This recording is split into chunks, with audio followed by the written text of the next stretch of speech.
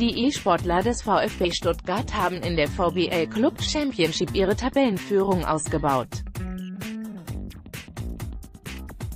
Die Schwaben, die bereits am Mittwoch zwei Spiele absolviert hatten, sammelten am Donnerstag zehn weitere Punkte.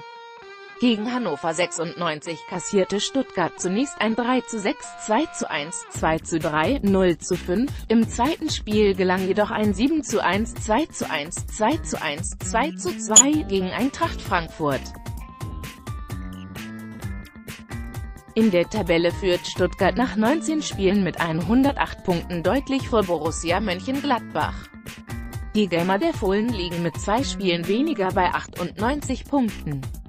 Top-Favorit Werder Bremen greift erst am Freitag wieder ins Geschehen ein. Die Mannschaft um Topspieler Michael Megabit Bittner hat erst 15 Spiele absolviert und steht mit 96 Punkten auf Platz 3. Die Verzerrungen in der Tabelle kommen durch diverse Ranglistenturniere zustande.